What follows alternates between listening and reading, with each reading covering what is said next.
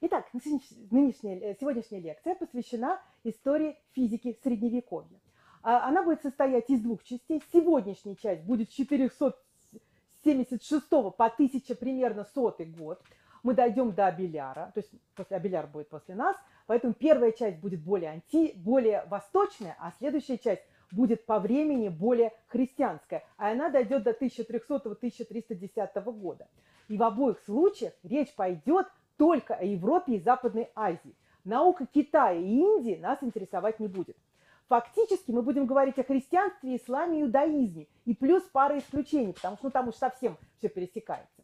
Значит, исторический контекст, потому что, я думаю, вы его плохо помните, это важные веки, смены конфессий и события, перекликающиеся с жизнью ученых. Вот конкретно какое-нибудь королевство может быть очень важно, потому что в этом королевстве был научный центр.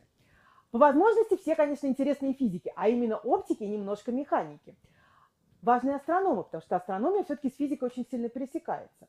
Значимые открытия в математике. Ну, смотря что, например, они занимались дружественными числами, их очень интересовало, а, значит, числа, в которых сумма дели, э, делителей была равна самому числу. Ну, сумма делителей, кроме этого самого числа. Вот и почему-то эти числа очень интересовали. Но как-то для физиков это не слишком интересно. Поэтому будем говорить только о том, что помогает физикам. Переводы научных трудов, это очень важно, и системы обучения, тоже там самое значимое. Ну и отдельные примеры из области медицины, географии и химии. Просто некоторые примеры такие забавные, что их хочется привести. Или важные. Ну и придется затронуть предмет, который я лично не очень люблю, это философия. Вот ничего не поделаешь. Здесь слишком близко философия и теология, то есть богословие, приходит в науке. Поэтому придется, но мы ограничимся только теорией познания и месте науки в системе ценностей, отношение к языческому наследию. Ну и наличие ереси, на которых я внимание обращать не буду, есть ереси или нет. Вот, а само о чем они там, э, мы не будем трогать, потому что это уже слишком. Значит, почему вот очень важно отношение к языческому наследию? Дело в том, что монотеистические религии, к которым как раз относятся христианство, ислам и иудаизм, они очень плохо сочетались и между собой и с язычеством. В язычестве было куча всяких богов. И если вы вводили, вас 30 богов, вы 31 вводили, то ничего страшного у вас не происходило. И сами язычники легко, например, в Римской империи ставили, значит, э, в храм э, статую императора, и надо было ей поклониться. И для язычников проблемы никакой не возникало. А для, например, иудеев это была огромная проблема, а потом для христиан, потому что, ну как же вы, вы вот э, принимаете за Бога императора? Ну, а язычникам было все равно. Конечно, их могли при, при, привлечь за то, что они, значит, например, там где-то, э, там, не знаю, сломали там храм, там, например, там что-то сделали не то. Конечно, это будет э, плохо. Или если они, значит, э, просто вообще в богов не верят. Но как бы отдельные вещи – вы можете, самим им легко было пойти и кому-нибудь еще помолиться. И они дома, никто не мешал им молиться еще как-нибудь. Вот этому помолились, пошли потом еще кому-то. По проблем нет.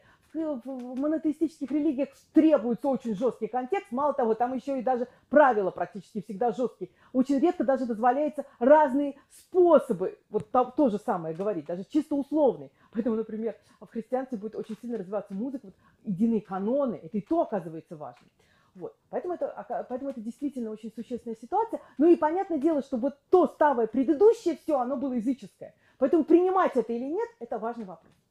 Значит, э, христиан, вообще средние века это время символов, а я вообще люблю символы, поэтому сегодня я специально выбирала одежду очень символически. Значит, у меня серьги в виде, значит, э, этих самых полумесяца мусульманского, а, одежда относительно напоминает вот то, что носили в Средневековье, видите, ну и цвет тоже такой красный.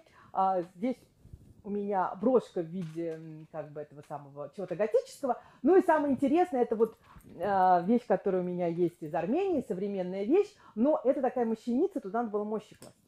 Ну, у меня мощей нету никаких, у меня там платочек лежит, но, в общем, такая интересная штука. Итак, э, значит, я сегодня буду использовать разные источники. И э, вот, э, ну, кому интересно, они у меня написаны, но это основные источники, которыми я пользовалась.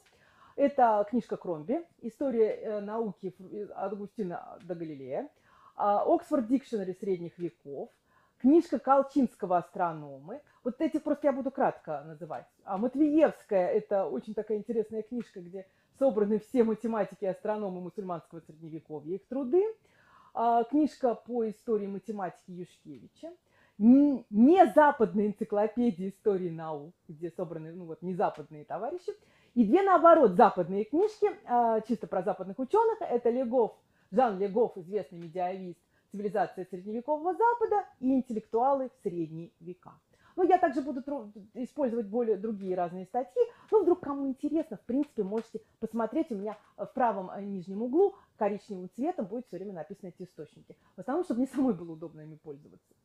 Ну и я уже много раз приводила, но сейчас это прямо вот самое то, привести количество ученых по векам, которых я взяла еще из двух моих любимых источников. Из книжки Хоки «Биография, энциклопедическая энциклопедия астрономов», где 1500 биографий, и 3000 биографий математики есть у Мактьютера. Это просто такой сайт. Если набрать Мактьютер, то э, там, правда, меняется количество математиков постоянно, потому что они добавляют, добавляют. Это Сент-Эндрюский, по-моему, университет в Шотландии. И там, э, ну, опять, это не все астрономы, не все математики, к тому же они пересекаются. Но мне нужен был какой-то способ, какой-то единый э, способ отбора ученых. Вот эти люди выбирали астрономов и математиков. Соответственно, ну, физиков, к сожалению, никто не делал, Э, поэтому вот я использовала этих товарищей. А вот. И мы можем увидеть, вот если мы посмотрим, что у нас нету того, что идет все время увеличение. В 17 веке, в 16 резкий рост, но до этого у нас как-то все колеблется. И особенно хорошо это видно, если убрать 16-17 век. И видно, что как-то у нас зелененькое, да, вот с 8 по 12 зеленое преварирует, а с 12 по 15 постепенно растет красное. Остальных ученых существенно меньше. Мы сегодня про них вообще говорить не будем. А правда, вот израильские вот ученые голубенькие нам понадобятся. Это, не, опять же, повторяю, не все ученые. То в седьмом веке вообще ни одного европейского ученого нет, что не совсем верно. Но мы можем посмотреть вот такое движение, красное и зеленое. То есть у нас явно какой-то провал происходит. Причем в шестом веке ученых много, тут просто упомянутые. На самом деле это люди, которые собирали энциклопедии. А вот потом у нас совсем как-то мало. И снова рост. А на, на Востоке наоборот происходит. То есть учение побывало на западное учение, как-то так съездило на Восток и вернулось обратно. И, кстати, оно очень интересно при этом претерпело разные изменения. Но об этом как раз сегодня, потому что мы дойдем как раз до XI века. Мы отдельно можем рассмотреть математиков, благо на сайте Максютер их разделили. Значит, черным это исламские математики, синим это э, не исламские, красным отдельно индийцы. Причем не исламские, это в основном западные. Вот, видно, что сначала у нас черное с вкраплением красных, а вот где-то после 1200 до 1500 постепенно все больше синенького, то есть больше западных, ну тут может еще парочка китайцев, и э, красных, ну так, опять вкрапления, а черных становится все меньше. То есть опять же наука обратно возвращается на Запад. Значит, так периодизация, ну в основном европейского средневековья, 3-5 век – это поздняя античность, ну, а то, что в античности такой постепенный переход. Вообще до 7 до 8 века. Дальше это раннее средневековье, когда складываются средневековые правила. Высокое средневековье, такое средневековое средневековье. И потом позднее средневековье. Или вот тут же осень средневековья, возрождение. Ну, высокое средневековье, что вообще было в средние века? Значит, если вы что-то вспомните, оно, скорее всего, было высокое средневековье. Это было рыцари, все период побеждали рыцари. Э, значит, они были, феодальная, значит, система, э, даже вот эта вот феодальная раздробность, в основном, правда, во Франции, э, значит, вассал не моего вассала, не мой вассал. Вот это высокое средневековье. Тут же были крестовые походы, а, а в позднее средневековье была война Алой и Белой Розы, Столетняя война, но вот чего не было, высокое средневековье не было чумы, она была в раннее и в позднее. И, в общем, не было холеры. Я не знаю, почему ее все время называют средневековой болезнью. Она вообще появилась в 19 веке в Европе. Вот. И а, а вот к концу как раз раннего средневековья появляются рыцари, как некое сословие, как то, что а, не имеющий много денег феодал дает эти, а, король дает эти, значит, какие-то там пожалования, и дальше у нас живут рыцари. И в значительной вещи, что нам важно – это то, что вот где-то с высокого средневековья начинается подъем городов, который как раз в античности, его не было. В поздней античности люди из городов переселились в сельскую местность, и раннее средневековье, они в основном жили в, в этом самом, где-то ну, в лесах, в деревнях и так далее. И постепенно, кстати, весь все это время с раннего до высокого средневековья у нас будет рост населения, и население все больше становится в городах. А именно в городах ну, можно вести какой-то, э, вот, например, университеты, да, какие-то научные учреждения, они скорее будут в городах. Хотя, конечно, есть одно важное исключение. Э, и, и там, где вы можете жить как раз вне городов, это монастыри. И они как раз появятся в позднюю античность, ну, там начальное на раннего средневековья скорее. Вот.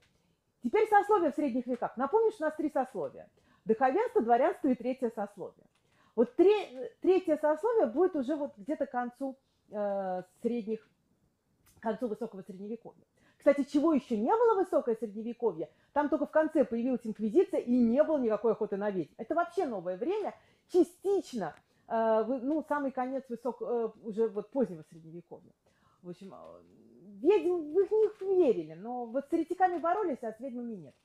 А, значит, так вот, сословие три. Это те, кто молится, монахи, духовенство. Те, кто воюют, то светские феодалы и рыцари. У них, в принципе, и власть там судебная, хотя у духовенства тоже, там все очень интересно. Например, если вы э, принадлежали к духовенству, то у вас вообще должно было духовенство и э, суд был не светский, а духовный. Он был обычно более э, мягкий. Если вы смотрели, например, фильм а, «Последняя дуэль», вот недавно вышедший Ридли Скотта, то это по настоящей истории, и там как раз было, что одному герою предлагали обратиться к суду духовенства. А на каком основании? А он грамотный был. Вот из двух рыцарей, которые были в этой истории, только один был грамотный. Кстати, жена вот этого неграмотного рыцаря тоже была грамотной. И это, кстати, довольно нормально, потому что, особенно в раннее средневековье, потому что у женщин, женщины сидели дома, у них было больше возможностей получить, э, ну, какое-то, знатным дамам получить образование некое и э, заниматься просто вот э, поместьем, пока там вот ходили в разные походы их мужья. А, значит, так вот, то есть тут, вот даже такого грамотности было достаточно для того, чтобы вас могли вот в этому духовному сословию отправить.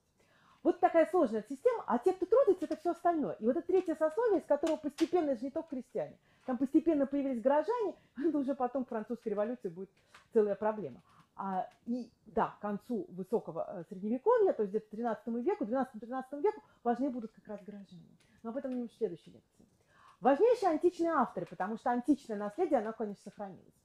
Ну, первые Фалес Милецкий и Гераклит, о них не вспоминали, у них и книжек нету. Демокрит – это атомистика, вот совершенно неинтересная, неважная в средние века. А вот важны Платон и Аристотель. Э, у Платона, у Аристотеля сохранилась пятая часть написанного, но все равно немало. А, значит, у Евклида, а, значит, Евклид, он написал книжку по геометрии, ее, вот эти пять, пять э, постулатов Евклида, и по оптике. Архимед, хотя вот как раз в Средневековье про него редко вспоминали, Клавдий Птолемей, который построил ну, работу по ну, первый придумал какую-то обобщенную астрономическую работу. Так вот, интересно, что к концу вот, поздняя, поздняя античность Аристотель был мало популярен, был более популярен Платон. Видите, вот на, кар на картине э, Рафаэля, это ну, в районе 1500 года, а, значит, Аристотель смотрит вниз, Платон наверх. Аристотель предложил формальную логику и вообще написал, ну, он как бы можно сказать, что был все-таки во многом первый ученый, потому что он начал доказывать. Да, его доказательства, конкретиках он сделал массу ошибок, его доказательства были несовершенны, но он доказывал.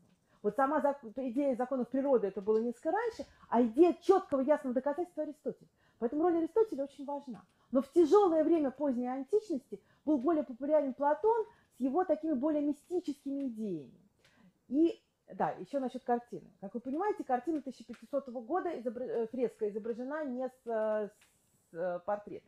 Так вот, у меня вообще не будет никаких портретов реальных. Картины будут просто для... А, все картинки будут исключительно для некой иллюстрации, для ну, некого живляжа, за исключением тех картин, которые взяты из а, книжек. Вот книжки рукописи – это важно. А вот эти все портреты, никого нет портретного сходства. Я, по-моему, кого-то даже там три сразу поместила, все разные. А вот. Итак, события поздней античности. Второй век – это такой вот лучший век, наверное, в истории Рима. Значит, помните, у нас там Римская империя в это время, огромная Римская империя. И у нас пять хороших императоров были. Они друг, действительно они так назывались, без шуток. К концу их правления, правда, начались проблемы. А, значит, Антонинова чума такая была. Ну, это не чума, правда. Но там серьезно так народ пострадал. Уменьшилось количество населения. И э, был так называемый кризис третьего века. Хотя все еще было не так плохо. Сначала у нас правление Антонина Пия, где э, Рим не вел воин. Потом у нас получилось, что Эдикт Каракала 212 года дал всем жителям римское гражданство. А вот, но э, дальше у нас наступил вот э, экономический, вот связанный с эпидемией, похолодание в это время. Были такие солдатские императоры, которые очень сильно друг друга сменяли, очень быстро, там, за 50 лет что-то там порядка 30 императоров. Ну, в общем, редко кто больше года служил. Некоторым удавалось там по 5. Вот. А, и Диоклетиан становится императором Рима. Диоклетиан сделал несколько важных вещей. Он разделил римскую империю на две части. Пока еще это была единая империя, но просто для, ума, для удобства управления. Кстати, сам себе взял византийскую, византийскую часть, да, восточную. А далее он сменил принципат на доминат. То есть э, император считался все еще великим, как бы считался первым гражданином, у него была власть, но он как бы вот не было такой восточной роскоши. Опять же, это все будет скорее в Византии. Западная будет скорее старый вариант. И э, он же, у него начинается всеобщее гонение на христиан. Дело в том, что христиане появляются, их временами начинают проводить гонения. Сейчас историки говорят, что гонения преувеличены в основном, потому что, э, ну, как бы люди писали, вот, христианские писатели писали, что их все время преследовали. Чаще всего это был принцип «не спрашиваем, не отве... мы не спрашиваем, вы не отвечаете». Вот. Так что, в принципе, не так уж плохо все это время было, как вы понимаете, христианство появилось в первом веке. Ну, то есть вот э, известно из независимых источников к концу первого века. Вот. И, э, ну, как бы развивалось. Постепенно все больше и больше людей, особенно женщины, рабы, все, кто принадлежат к, ну, скажем, к угнетаемым меньшинствам, они, э, даже не обязательно меньшинствам, а к угнетаемым слоям населения, они принимают христианство. Так вот, очень важный момент, значит, в 313 году происходит эдикта веротерпимости. Вот тут вот последний серьезный, вот Диоклетианова там серьезные были гонения, вопросов нет. А, происходит эдикта веротерпимости. Перед этим Армения становится первым христианским государством. А Диалектиан, он еще, кроме всего прочего, он попытался все это сохранить, кончить этот кризис третьего века тем, что все как бы оставил все как есть. И в числе прочего получилось, что вот то, что я говорила, люди как раз сильно поредело городское население. Население вообще поредело, городское тем более. А тогда вся наука была в городах. Поэтому уменьшение городского населения привело к уменьшению науки просто автоматически. Далее, у нас, значит, следующее вот событие. Это то, что у нас постепенно начинают приходить всякие варвары. Их, в принципе, было около 5% населения. Но эти варвары, они, э, ну, и так уже все плохо, да, они в сложные взаимоотношения входят последними римлянами. И в это время у нас еще появляется ватарианство, такая некая ересь, они единственное я скажу, это ересь, в которой вот они в Троицу не верили. Но дело в том, что некоторое время эти ересь победила, и в это время как раз часть этих э, вот готы, в частности, и вандалы, они приняли эту ересь. Поэтому в результате получилось, что они были захватили население, которое верило немножко иное. То есть их было мало, а население верило в такое ортодоксальное католическое православное христианство, потому что разницы между католиками и православными пока официально не было. Значит, в 395 году окончательно разделилась Римская империя. В 406 году римляне ушли из Британии. А между этим святой Иероним закончил вульгату. Что это такое? Это перевод на латинский язык Библии. И вот с этого момента, по крайней мере в Западной Римской империи, Именно вульгата, именно э, знание латыни обязательно вот для этих самых священников. Нет, ну, попадались, конечно, неграмотные священники, но это все-таки исключение. Все-таки от священника ждали грамотности. И должен был он знать что? Латынь. А вот греческий он знать не должен был, потому что все, что ему нужно было, было на латыни. Вот то, что римляне ушли из Британии, почему это важно? Иногда говорят темные века. Сейчас с этим спорят. Ну, во-первых, сначала сказали, что темные века это только 6-10 век. Потом тоже уменьшили где-то там 6, 7, 9, 10. Но именно в Британии период 4, 5, 6 век действительно был темный. И из Британии э, римляне ушли, и неизвестно, что там происходило. Вот очень мало данных по 5-6 веку. Но это касается только, только Британии. Все остальные места, причем Британия римская была вот как раз до Шотландии. То есть э, нынешняя Бри, э, Англия и Уэльс. Ну и, значит, э, вот ну, все, наверное, да. Да, в это время, кстати, происходит еще важный момент. А, значит, э, не соборы появляются, да, вот, вот как раз соборы. На соборах решают, что такое христианство, потому что это довольно сложно, на самом деле, понять, что такое христианство. Что у нас Христос, у нас же это Троица, да, что Христос, кто такой э, Святой Дух и так далее. Вот это все они постепенно решают все эти проблемы. На каждом соборе они будут сначала первые года этим заниматься. Вот. И у нас в это время, а, да, кстати, где-то в это время у нас, а, вот примерно в это время, вскоре после того, как мы принимаем, а, э, значит, принимаем христианство, вот Миланский дикт, да, вот 395 год, все, единственная вера, все вообще, уже ничего других язычников быть не может и с этого момента язычники это не люди, которые исповедуют, знают там Аристотеля и Платона, а это люди, которые вообще неграмотные. И это очень важно, потому что для них, например, те же самые монастыри не будут представлять никакой ценности, а в монастырях могут быть всякие ценные вещи, в том числе манускрипты. Раздел Римской империи. Вот давайте тоже немножко пару слов об этом. Значит, Восточная Римская империя – это а, то, что вот получилось так, что Восточная Римская империя – это более старые государства – старее Рима. Здесь говорили на греческом и на сирийском. И это то, что православие, ну, правда, тут православие и потом ислам в значительной степени. А Западная Римская империя – это то, что те люди, которые говорили на латыни, они ее приняли, и кроме Британии и Севера Африки, они до сих пор говорят на языках, которые близки к латыни, да, то есть вот эти э, э, латинские так называемые языки, они реально близки к латыни. В каждой стране произойдет все разное. А, значит, Британия будет сейчас завоевана, в Испании э, вскоре она будет частично завоевана э, этими самыми варварами.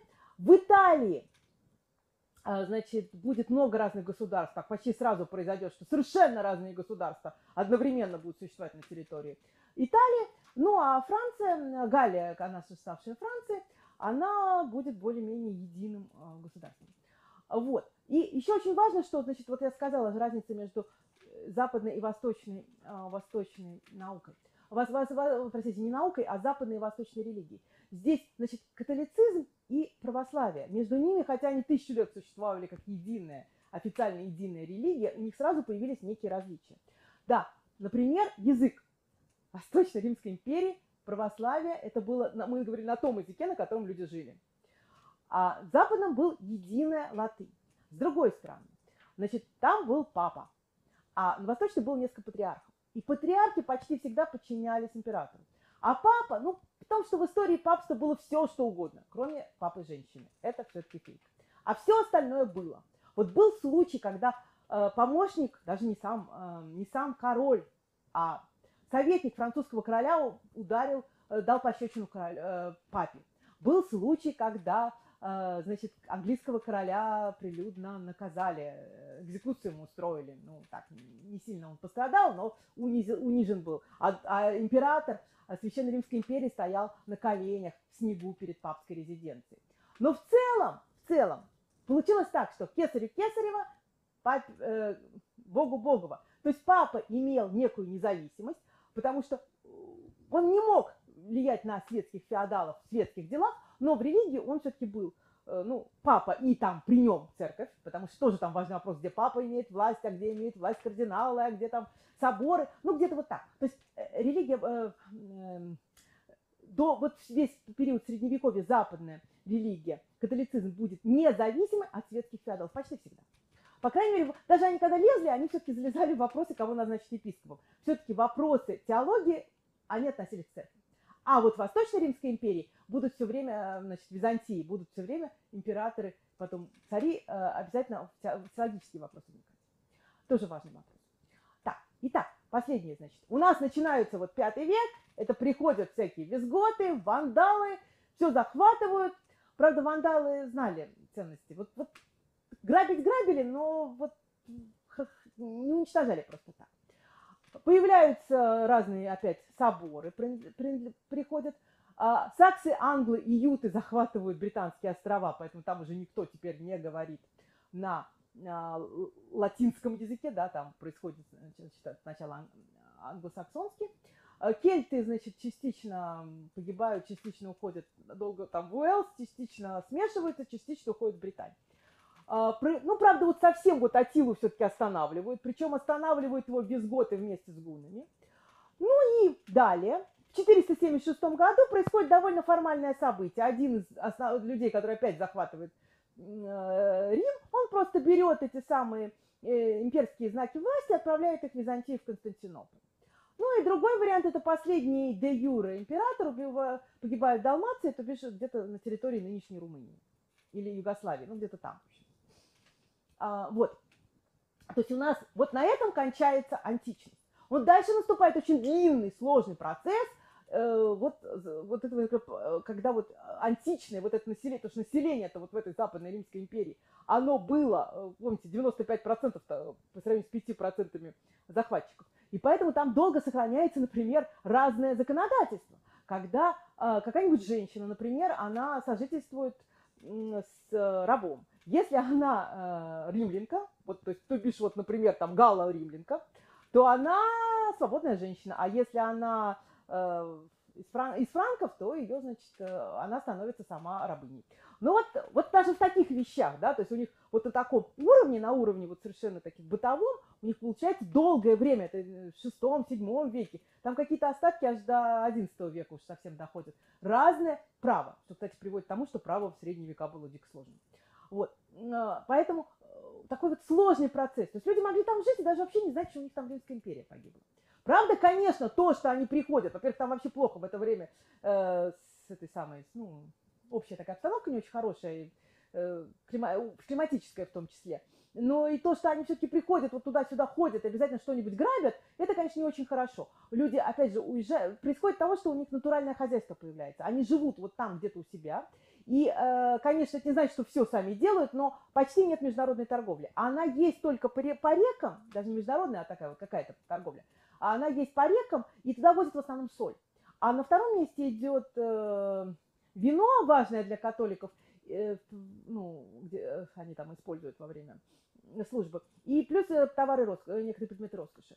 И даже прекращают золото, золотые монеты делать. Ну, в общем, такой, в общем, некий бедлам происходит. Правда, не то, что прям все пустынило и все такое, в отдельном месте все могло быть очень даже неплохо. Но вот э, в целом такая ситуация не очень хорошая, и главное, что города вот действительно а, становятся. Ну, а теперь давайте поговорим об очень, а, то есть городов становится меньше, вот они по, по населению меньше. А, о том, что происходит с христианами, которые воспринимают языческую э, религию. Вот, да, сначала надо понять, как они язычество принимают. Здесь мы можем посмотреть на разных людей. А, например, а, Иустин философ пишет, потому что не совсем сходно, но учение этих стоиков, поэтов и историков прекрасно, потому что познавая отчество, отчасти сродное спасением Словом Божьим. То есть до Бога какие-то правильные идеи были у всяких, а, у всяких других людей, у всяких вот философов.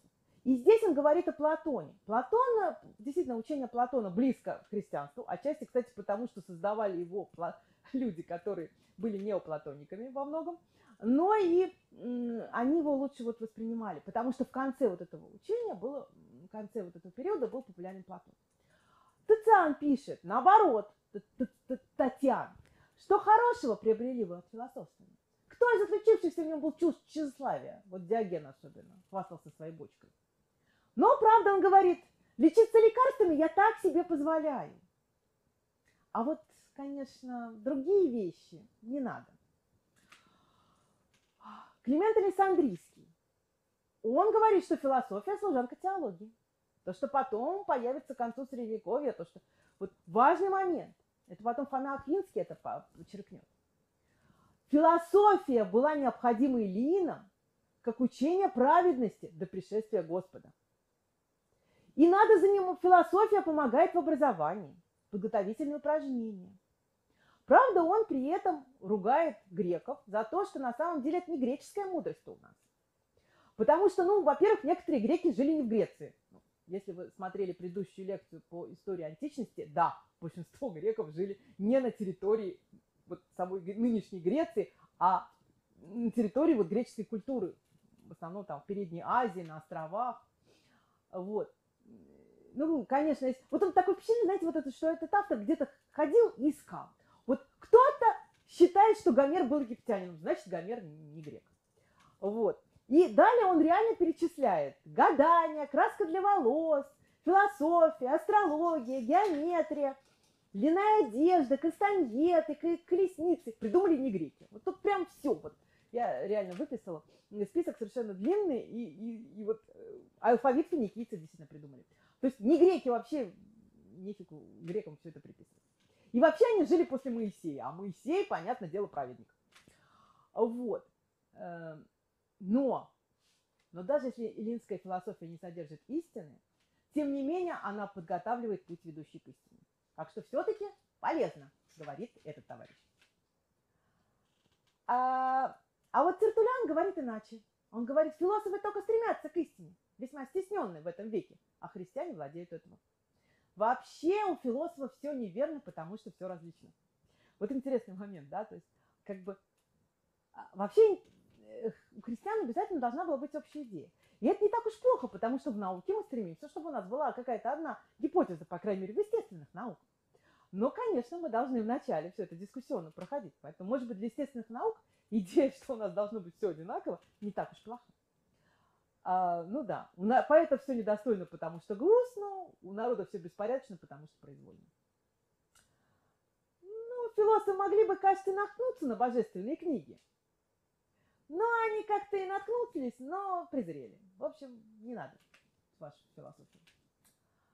Дионисий Александрийский, священномученик, говорит, э, ну, он спорит, правда, с эпикурейцами, а эпикурейцы были атомистами, потому что, ну, не может быть, чтобы этот прекрасный космос был построен в виде случайности. Надо отметить, что это до сих пор вопросы вызывает у верующих. Ну, в общем, вот такой вопрос, уже, конечно, конкретный. А, Евгений философ тоже повторяет Тертулианом, что видно было, как философы противоречат друг другу в мнениях. Бесполезно. И как исследования теряются в бесконечности, ни на чем не останавливаясь. Недостижимо бесполезно цель их усилий. И вообще они там тупые. Они так храбры, чтобы не сказать тупые. В общем, Герми философ говорит, что тоже не надо. Да, вот э, тут Константин Великий, я просто хочу сказать, что вот иногда путают, здесь э, в эдикте Константина Великого было все-таки сказано просто, что э, мы отменяем все, все, все вот правила против христиан. То есть это был практически эдикт о веротерпимости, но очень быстро христианство завоевало самые важные места. То есть вот это все вот споры, вот это все, нам не нужно ваше язычество. Это еще когда христианство само по себе подвергалось всяким нападкам. Вот у них, кстати, это значит, патрианистика называется первый, второй век, а второй, третий век называется апологетика. Там люди доказывают, что христиане хорошие. Это, вот наоборот, вы говорите, что этот человек хороший, потому что, несмотря на то, что христианин, нет, он такой хороший, потому что он христианин. Ну вот, да, но временами они занимаются вопросом, нужно ли это.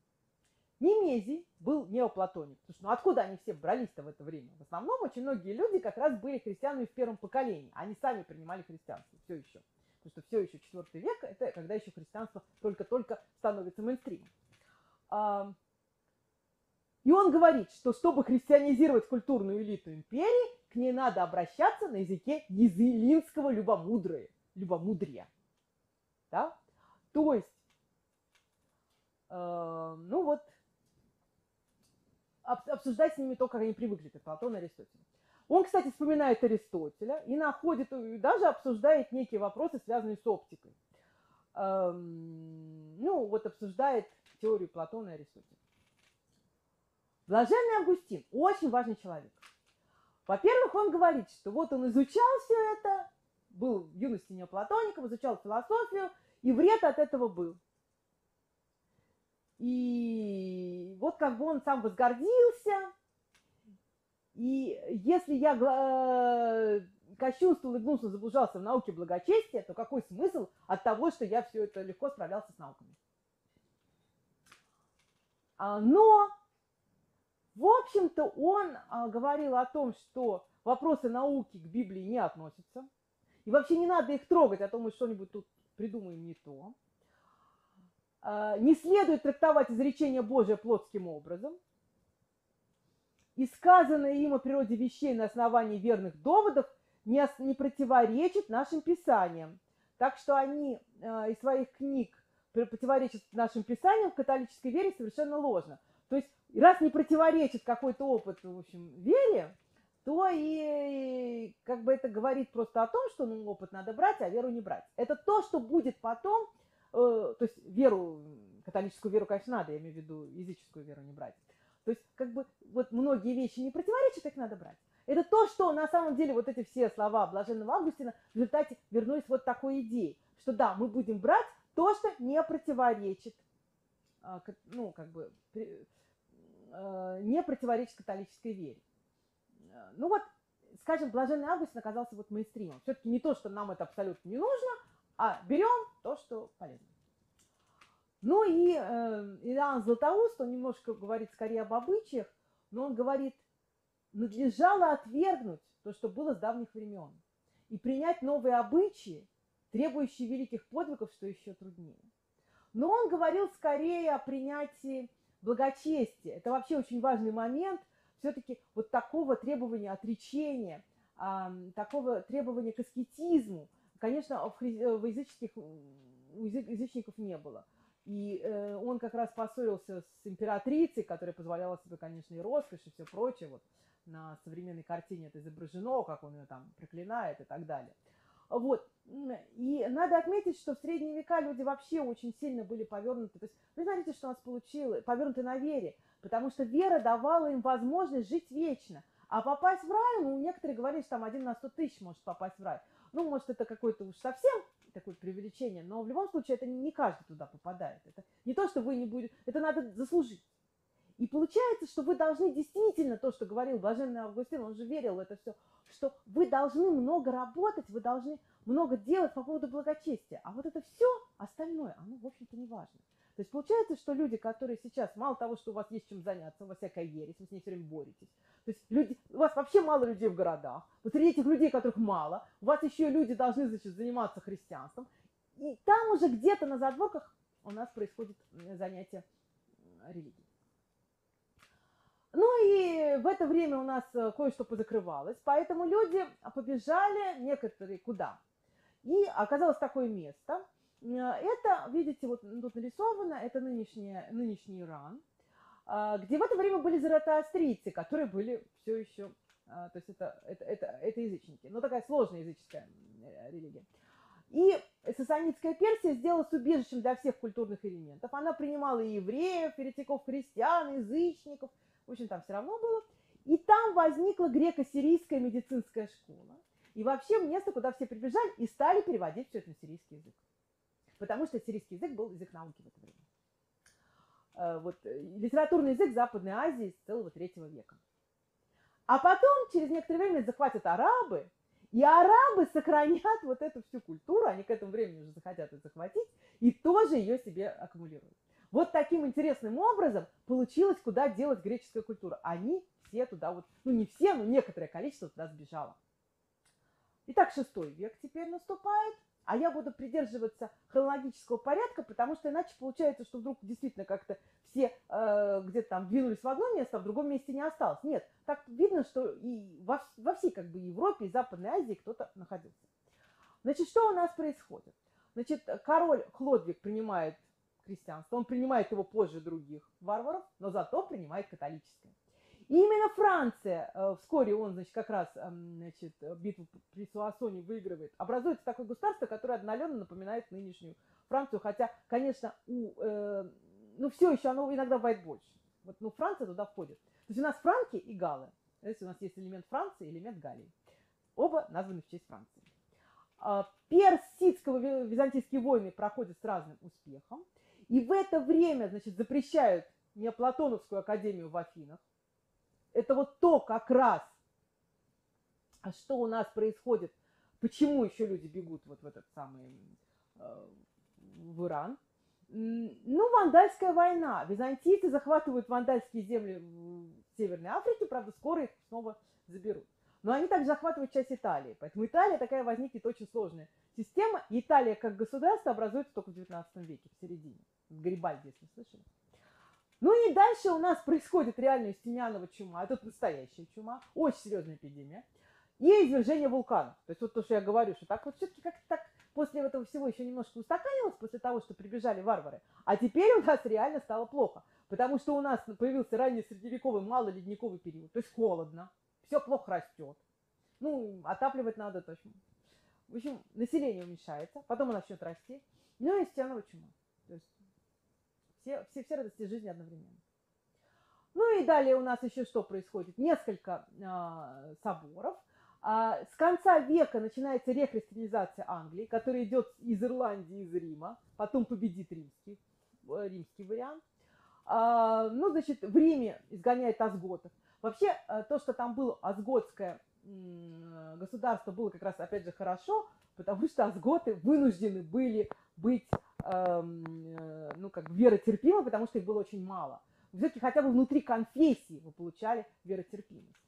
И что интересно, второй, второй Пятый Вселенский, второй Константинопольский собор, он э, очень много чего объявляет ересями. И, как видите, платонизм. И вот здесь я обнаружил интересную особенность. В русскоязычных источниках написано про платонизм. Вот просто про платонизм. А в, в этих самых, в англоязычных источниках написано про конкретных неоплатоников. То есть сам платонизм не был объявлен ересью. И, на, может быть, это очень важное э, различие, поскольку, э, как я поняла, этих самых все равно не сохранилось самих результатов. Это две разные интерпретации. Потому что по какой-то странной истории все-таки почти не было ученых в Византии, ну, ученых, которые вот меня интересуют в этой области. А в Западной империи, где все-таки как бы платонизм вроде остался, они были. Ну вот, ну, может быть, я не права, это какая-то совсем не этим объяснено, но вот как-то вот странная такая история. Вот. Да, и персидско-византийские войны ведутся, потом про это скажу. Итак, Боэци, как раз вот при этом самом эм, Озготских королях, последний римлянин. Правда, его потом убьют, но он не платоник, он теолог, он очень важный человек для раннего средневековья. И он ввел музыку в средневековую культуру, огромное количество ну, информации, огромное количество людей занималось музыкой. Э, вот какими-то канонами, я когда вот эту Оксфорд, читала эту Оксфордскую энциклопедию, там просто все время открываю какого-то человека, вот 50% наверное, что он занимался музыкой. А, ну и здесь он пишет, э, что вот у нас есть круг земель, что мы узнали астрономических наблюдений, и он представляет собой точку в системе небесного пространства. И четвертая часть Земли э, стала известна тебе из, из Птолемея. То здесь какие-то, все-таки вот он рассказывает о каком-то утешении философии и использует данные астрономии. Вот что мне показалось интересно. Дионисий Малый. Ну вот этот человек сделал просто одну вещь, не особо занимаясь астрономией или чем-то, он ввел Дионисовые таблицы. Монте-Кассино. Здесь появляется Бенедиктинский монастырь. Бенедикт... Видите, какой сложный монастырь. Бенедиктинцы – это монастырь, который будет заниматься хозяйственной деятельностью. И здесь очень много всего, что они делают. Вот именно а, значит, э, а, они этим занимаются. И по этому э, схеме бенедиктинских монастырей будет очень много. Они такие черные монахи, они не самые бедные. Потом будут более бедные белые, потому что это не, белё, э, не крашеная шерсть. А потом серая, даже не отбеленная, то есть еще беднее. Но вот бенедиктианцы что они сделают полезного? У них появятся виварии, а, ну там скриптории, даже при женских монастырях будут значит, места, где надо переписывать книги. Да, изначально это во многом будет просто некая повинность, потому что монахи давали несколько обетов, они обещали э, послушание и они обещали работать. Вот эта работа вполне правильная работа. Но оно стало правильной работой. Вы могли... То есть вообще это, конечно, зависело от э, этого самого... Э, господи, главного по монастырю-то, а, он мог э, позволить вам, аббата, он мог вас отправить э, растения выращивать, мог отправить на кухню, а мог отправить сюда. Ну, наверное, он как-то учитывал кто что, но это, в общем, личные взаимоотношения тоже играли. Вот. Далее у нас происходит Иоанн Филопон, один из двух а, людей, принадлежащих к Византии, о которых я вообще буду рассказывать, потому что мало их было. Он придум... Во-первых, он обсуждает Аристотеля и комментирует, где-то соглашаясь, где-то нет. А, ну, у него есть два простых движения, прямолинейное, круговое, это у Аристотеля. И на этом а, основании он выписывает, что свет не может быть телом. То есть Аристотель для него такой важный авторитет, что вся логика сводится к тому, Аристотель сказал. Ну, он обсуждает э, разные варианты света, э, как, как человек видит. А далее он говорит о том, как снаряд двигается в пустоте. И вот он вводит понятие импетуса первым. Это такая интересная штука, которая появится уже в позднее средневековье, но немножечко будет и в раннее, и э, высокое. Снаряд движется за счет импетуса, который воздействует на него движителем и который истощается в процессе движения. Уменьшение скорости падения при возрастании плотности среды. Аристотель считал, что нет вакуума. Филопон с этим спорит. Вакуум возможен, нет с этим проблем. Но вот у него вот есть эта идея импетуса, которая, ну, некоторые ее с импульсом сравнивали. Но там есть много различий. Ну, то есть как бы вот немножечко похоже. То есть импетус, который в процессе движения истощается. Если это плотная среда, это так. В вакууме, конечно, не так. Да, Филопон до этого не доходит, но сама по себе идея у него весьма интересная. Ну и вот далее он описывает, как создан мир по Платону. Ну, ладно. Кассидор.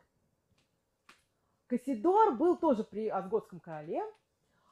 А, и он говорит, что изучение древних да будет нашим делом. Вот необходимо писать, это важное дело. Но если вы хотите быть писарем, вы должны прочитать, вы должны знать про орфографию, поэтому читайте вот этих авторов. А, значит, основа латинской риторики. Да, он поставил вот обязанность, монастыри должны заниматься переписыванием текста. То есть вот этот итальянский, ну, нынешний Италия, государственный деятель, он сказал, вот давайте так делать. И он пишет, а вот вы, вы ну, помните, у нас же, значит, я же показывала вам, как монастырь, там выращивали сады. А если выращиваете сады, то вам нужны вот такие авторы, э, которые тоже прочтете и вот узнаете.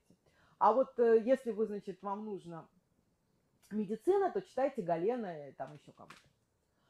Ну, христианизация в Англии была, ну, там первые люди, они просто головоломками занимались. То есть не все тут были серьезные ученые.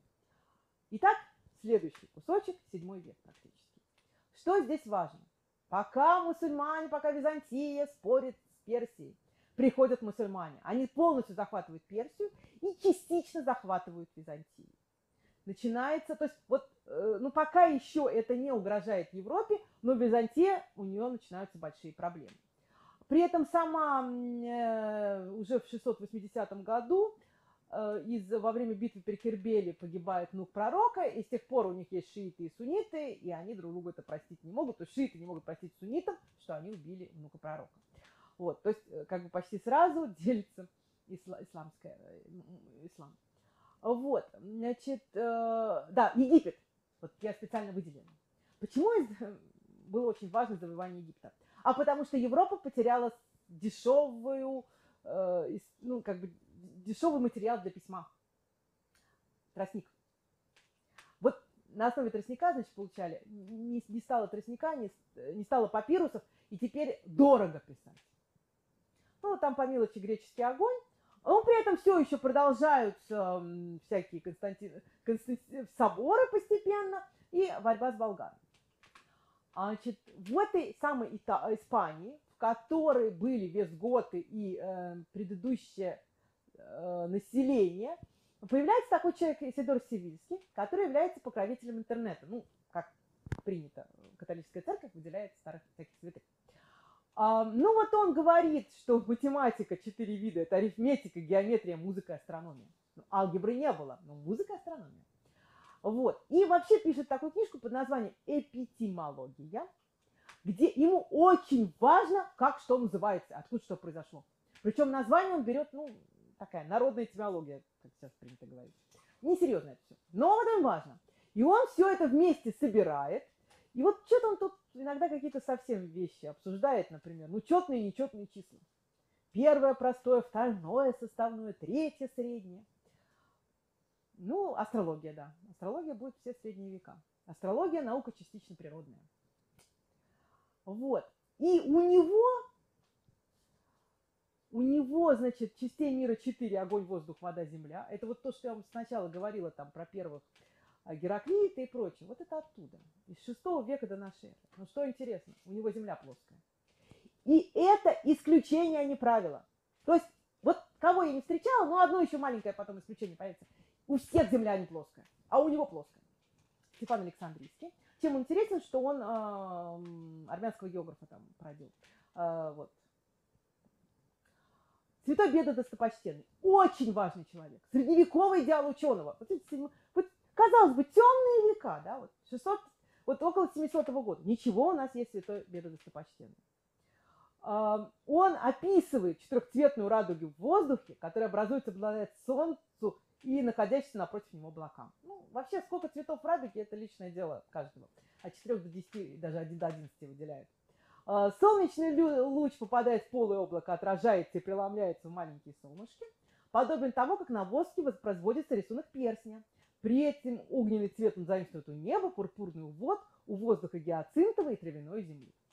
Ну, нельзя сказать, что здесь большие разумные идеи, но почему бы нет? Ну, нельзя сказать, что очень плохо. То есть это все-таки попытки какие-то научные что-то объяснить. Ну, у него семь звезд, разделенные определенными промежутками, блуждающие, семь небес. Правда, небеса – это воздух, эфир, а дальше уж совсем идет ангелы строятся и так далее. Но, по крайней мере, у него уже земля круглая. Вот. Э, правда, я не у него нашла картинку, но он говорит, у каждой планеты свой круг. Он пишет, что Земля круглая, так что тут вопросов нет. Да, он прямо пишет, что звезда – это абсолютный шар, Земля круглая, а, но не абсолютно круглая, потому что у нас есть всякие э, те самые...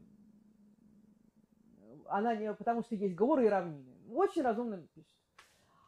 Далее у нас события 690-850 года. Это Трульский собор пресловутый. И это то, что Византии, ну это так, да, мелочи, да, а, вообще, тут важно, что как раз византийские императоры попробовали начать иконоборчество, которое это вот было отдельно. Это, они пытались это делать на Востоке. На Западе на это не реагировали никак. При этом у нас здесь все время происходит э, останавливаем арабов. Вот по всем местам, значит, да, они захватывают Пиренейский полуостров, но постепенно после этого э, их останавливают. Их останавливают у Сардарии, а, Передняя Азия, значит, Китай не попадают, э, византийцы их останавливают, индийцы их останавливают, а, в долине Кавадонга их останавливают, не дав им захватить всю, весь Пиренейский полуостров, и плюс еще битва при Пуатье, это уже Франция, это центр Франции, где франки над арабами тоже оказывают. То есть, э, ну, значит, арабов остановили. Но они довольно большую территорию захватили. А, Иоанн Дамаскин, ну вот тоже пишет про физические движения. Теолог, но где-то вот по дороге что-то тут написал. А, и он пишет, философия есть познание божественных и человеческих э, вещей. Философия делится на теоретическую и практическую. Теоретическая – это богословие, физиология и математика, а практическая – этика, экономика и политика. Ну, опять это идея арифметика, музыка, геометрия. Видите, тут мало чего происходило в науке, но что-то, что-то, кто-то теплится, кто-то что-то обсуждает. Далее события 756-871 год. Что мне тут не, влезло. А, значит, это, значит, викинги. Вот только вы разобрались с арабами, появляются викинги. И викинги, значит, у нас здесь Карл Великий, вот сейчас мы про него поговорим, но у нас сразу, после того, как появляется Карл Великий, вроде все уже как бы идет даже Каролинское возрождение – значит, эм, у нас происходит обратное, приходят викинги, а викинги-язычники, они начинают э, захватывать вот э, монастыри, монастыри, церкви, уничтожать. А помните, у нас в монастырях, церквях сейчас как раз находятся книги, поэтому это не очень хорошая вещь. Вот, э, ну и там и сарацины тоже иногда что-то значит, происходит. А в Европе Восточной, там тоже там появляются венгры, и, э, но зато вот начинается постепенная христи... болгары, да, венгры, ну, постепенно происходит христианизация, ну, вот некоторых правителей. И кроме этого, у нас еще важный момент, что мусульмане захватывают Сицилию. Потому что Сицилия сейчас несколько раз поменяет своих владений, это окажется очень хорошо для Сицилии, которая окажется, все так быстро поменялось, что там будет веротерпимость. Редкость, веротерпимость. И так, как я сказала, Каролинское возрождение. Сейчас ставится под вопрос. Почему? Значит, Карл Великий сам по себе был безграмотный, ну, вроде бы писать, э, читать научился, писать нет. А, но к этому времени сохранялись школы, и в 817-м их закрыли, то есть школы должны быть только внутри монастыря. А, ну, как бы, то есть, и внутри монастыря, да, там не обязательно только будущих монахов, и будут учать псалмам, письму, пению, счету, грамматике, переписка книг. Но вот, э, как бы, где-то добавилось, где-то убралось. А, ну, в общем, люди, причем интересно, что люди, которые были, вот Алкуин Йоркский, он из Нантумбрии. Вот еще сто лет назад там еще христианства-то не было. А теперь уже все. Он теперь, вот побывав в Англии, он вернулся сюда и стал всех учить. Да, да, скорее такое украинское возрождение было с играми. А далее вот это книжки, это книги того времени. Видите, потрясающие, конечно. Но именно слишком дорогие книги. Когда кто-нибудь вам рассказывает, что в средние века книга стоила как целый замок, вот здесь это ну хоть как-то куда-то можно, это преувеличение, но здесь хотя бы об этом можно говорить. В нормальное время книга не может стоить сколько замок, вообще даже близко, хоть самая дорогая книга, хоть самый маленький замок. А потому что книга должна, ее должны читать. А при таких дорогих книжках ее в руки взять страшно. Поэтому в это время как раз плохо все с образованием. А, ну, вообще в IX веке есть некоторое количество людей, которые занимаются, ну, хотя бы, они не то чтобы что-то развивают, но они что-то компилируют скорее. В это время вообще много компилируют. Причем компилировали они, а вот особенно более предыдущее поколение, они компилировали авторов позднего, они не компилировали, э, позднего, вот, римляне, да еще 4-5 века. Там не особо-то было хорошо написано. Они не брали первоисточники, они брали более поздние работы и их переписывали. Но это все происходит, они что-то пишут, развивают, то есть, по крайней мере, наука куда-то идеи приводит. И вот, например, Робин Мавр пишет, э, ну, он пишет, что амулеты и прочие средства, которым пренебрегает врачебная наука, излишне это все. И, в общем, не надо, и астрология плохо. Ну, вообще, вполне современный текст. Это воспитание клириков, это клириков и здесь появляется идея вот у Скотта и Рюгена семи свободных искусств. Опять же, его придумал Макс Ренци Ворон. У него, правда, их было девять – медицина, архитектура. А Марциан Капелло при, в пятом веке описал эти семь свойств. Там еще к Витрувию все это относится, который книжки по архитектуре написал. Ну вот как-то все вместе. И получается идея. Первый – это тривий, это грамматика плюс логика плюс риторика – а далее то самое математика. Квадривия – это фактически их математика. Геометрия плюс арифметика плюс астрономия плюс музыка. Это то, что надо учить. Ну, не самый плохой вариант. Ну, а в это время мудрость появляется в Багдаде. Помните, они захватили Персию, где было много ученых. Плюс а, первые, закончились первые халифы, которые были такие людьми ну, с мечом. И тут появились люди нега, роскошь и наука. А, аббасиды, первые, особенно халифов Мамуны, вот несколько первых людей, они строят эту библиотеку, а, вот в 832 году подтверждают, ну, там несколько раз этот Дом мудрости создавался, и они его сделают, ну вот, обсерваторию вблизи Багдада и вблизи Дамаска, и вот братья Бану Муса будут играть большую роль, то есть там собираются ученые. Давайте рассмотрим вообще особенности астрономии в исламе. Особенность астрономии в исламе означает то, что в исламе астрономия нужна. Практически. Почему? Потому что нужно кибла. Это направление на Мекку. Вот здесь современный способ определения. Но у них какие-то такие похожие были. То есть надо определить в каждой точке, где у вас Мекка, потому что надо молиться, глядя на Мекку. Время молитв. Там не очень нетривиально, если посмотреть, что надо делать. Потом у вас еще появляется а, то, что у вас очень сложный Э, этот самый исламский календарь, он реально сложный. Тут пасхалия надо у европейцев, а тут вот вообще дико сложно. Вот. И это все, вы этим всем занимаетесь. Квадранты, солнечные часы. Вот множество людей занимается просто исследованиями, ЗИЧ такой, где там все описано, где солнце всходит, восходит, какие планеты, какие звезды. Вот в каждом месте они вот это писали. Причем это надо в каждом месте в каждом отдельном городе. Вот. И в 13 веке в мечетях, в медресе появляются даже специальные мувакиты, профессиональные астрономы, которые в том числе вот определяют время молитв. Ну, наверное, в самых крупных мечетях. Ну, вот. При этом, видите, огромное количество рукописей. Они переводят и комментируют. И переводили этот альмагест, возможно, с сирийского, не с греческого. Он написан был на греческом. Они переписывают вот в течение 900 лет. Вот. вот.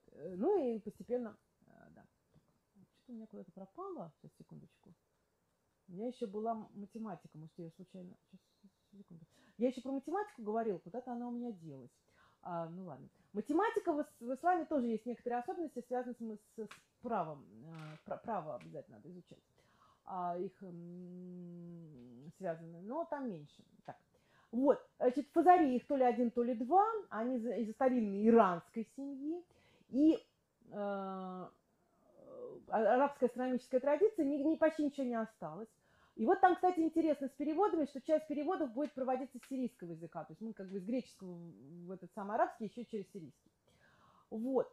А, Мухаммед Аль-Хорезми, он вошел в историю, что привел впервые слово алгебра. Хотя тогда алгебра была не совсем тем, это скорее полезная всякая информация. Но он э, также он ввел индийскую позиционную систему, потому что вот эти вот они брали не только греческих, но еще вот, по крайней мере, в математике они брали еще индийцев. А еще они брали этих персов. Ну, там персов не особо много было, но кое-что было. Вот. И он определяет всякие вещи, в общем, занимается наукой. А, Аль-Фаргани э, кратенько изложил Птолемея, поэтому его работу дважды перевели в XII веке, вообще она была дико популярна. Всегда хорошо, когда все кратенько объяснено. Аль-Кинди из знатной арабской семьи, а, считается первым философом арабов.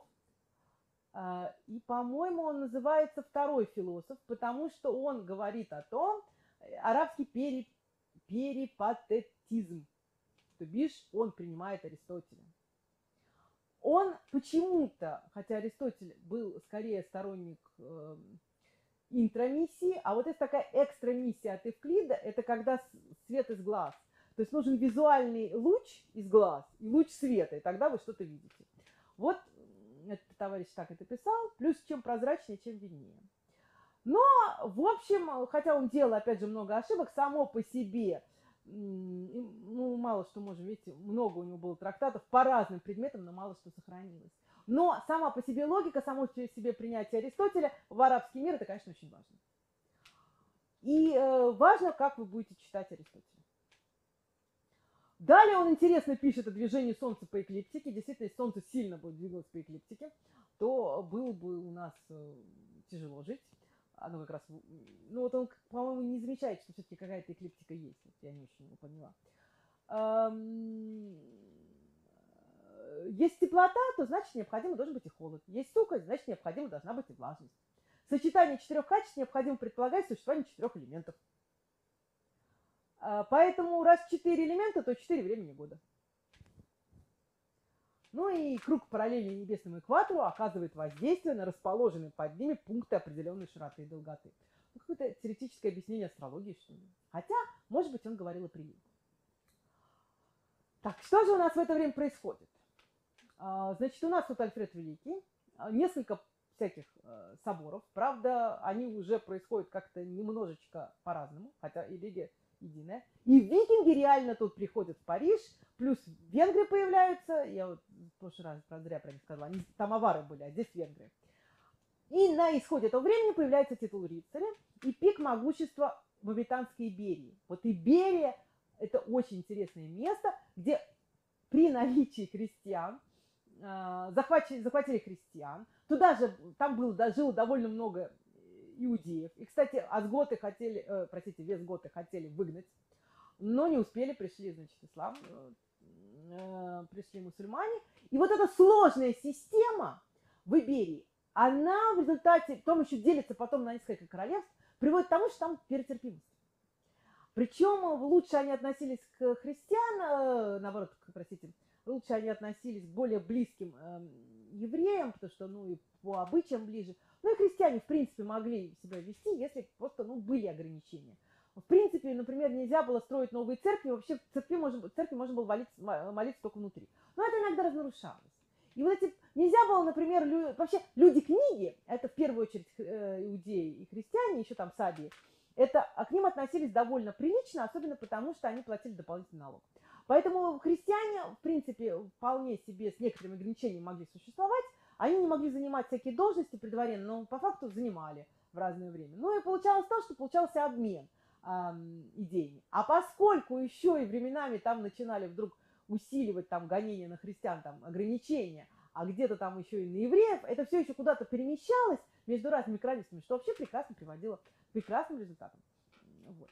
Ну и в это время, да, продолжается христианизация разных э, людей, венгров останавливают, а вот, например, э, викингов, вот викинг становится герцогом Нормандии. То есть вот, э, получается довольно такая ситуация, а, что у вас э, викинги становятся, христианизируются и вот как бы включаются в мейнстрим.